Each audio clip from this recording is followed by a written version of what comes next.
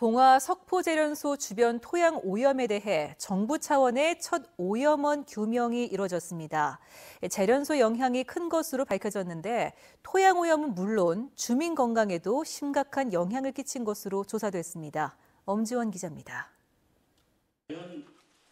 토양 오염은 심각한 수준이었습니다. 재련소 반경 4km 이내에 농경지와 학교 용지 등 주민 생활 권역 450여 곳에서 천여 개의 시료를 분석한 결과 이중 60%에 달하는 271곳 지점에서 토양 오염 우려 기준을 넘겼습니다.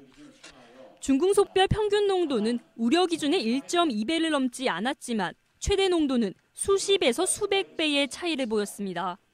1급 발암 물질인 카드뮴이 최대 100.92배, 납 5.39배, 아연 19.94배, 비소 6.54배였고 구리가 14.31배를 초과했습니다. 북풍이 부는 지역적 영향에 따라 재련소 북쪽을 중심으로 오염도가 짙었습니다. 5, 6km 떨어진 폐금속 광산을 제외하고도 영풍 석포재련소의 직접적 영향은 52%, 절반 이상인 것으로 확인됐습니다. 재련소가 얼마만큼 기여를 했다. 그러니까 52 오염된 지역의 어떤 복합 오염은 52%가 기여를 했다라는 부분만 어, 확인했다는 것도 큰 성과이지 않나.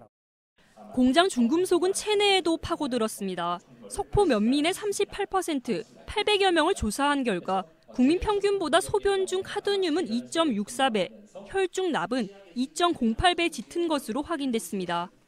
특히 노출 농도는 재련소와의 거리가 가까운 주민일수록 더 높게 측정됐습니다.